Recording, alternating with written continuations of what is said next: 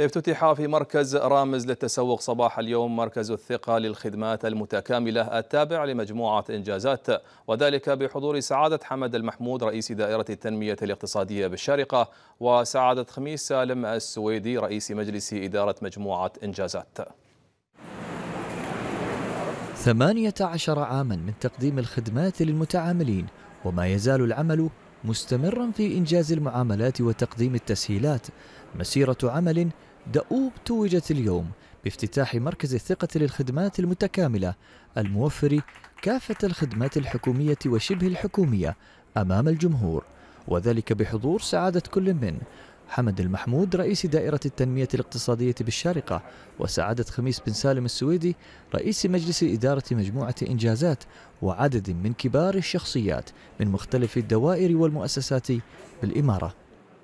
إحنا اليوم نحتفل بمناسبتين، المناسبة الأولى هي مرور 18 سنة على تأسيس تأسيس الشركة وفي نفس الوقت نحتفل ونفتخر بافتتاح المجمع المتكامل لخدمات اللي تفيد المستثمرين في إمارة الشارقة.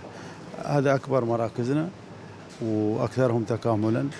ونحتفل أيضا من الضمن بافتتاح منصة المطاعم اللي هي خاصة بإجراء إجراءات تخليص معاملات المطاعم في إمارة الشارقة في مكان واحد.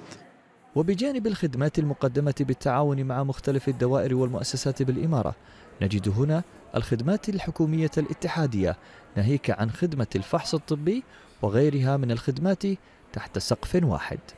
مركز الثقة للخدمات في عدة أقسام منها التنمية الاقتصادية ومنها خدمة المستشارك وخدمة العيادة الفحص الطبي وكذلك موجود في خدمة الجوازات. مما يسهل المتعامل أن ينجز معاملته تحت سقف واحد وفي وقت واحد وفي كرسي واحد. اليوم نحن في مركز الثقة للخدمات المتكاملة. عندنا خدمات ابتداء من الفحص الطبي خدمات الفحص الطبي خدمات تسهيل وتوجيه وخدمات التنمية الاقتصادية وخدمات القانونية. المركز بشكل كامل يتضمن الخدمات تحت سقف واحد لتسهيل رحلة المتعامل بحيث أنه يكون الخدمات كلها متوفرة في مكان واحد.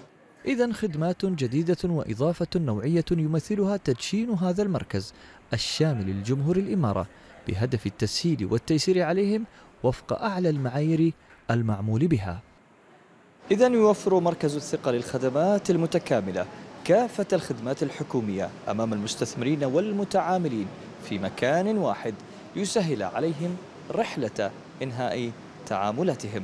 لأخبار الدار بدر الأصبحي الشارقة.